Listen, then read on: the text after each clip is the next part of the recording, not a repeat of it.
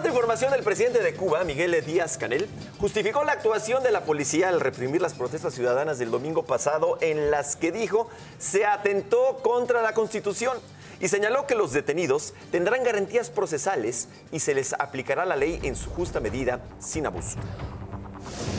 Vamos a quedarnos en el Caribe. Mientras tanto, el Cristian Emmanuel Sanon, el presunto autor intelectual del asesinato del presidente de Haití, de Jovenel Moïse, se declaró inocente ante la policía de aquel país. Sanon declaró que no tenía conocimiento del magnicidio ni del decomiso de armamento hallado en el edificio donde fue arrestado el fin de semana. O sea que pues, ahí apareció, él no sabía nada.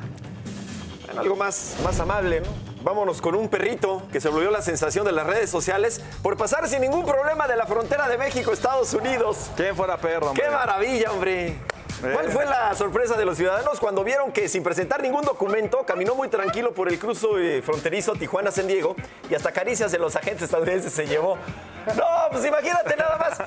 ¡Qué padre, no! Voy a intentar cruzar la frontera. Oye, pues A nada, ver si me hacen caricias también. En Perú había un perrito que transportaba droga dentro de la cárcel, entonces hay que tengan cuidado. Ajá. Que tengan cuidado. Pero, bueno, hay que tener cuidado, hay que tener cuidado. Pero sí, imagínate, ¿no?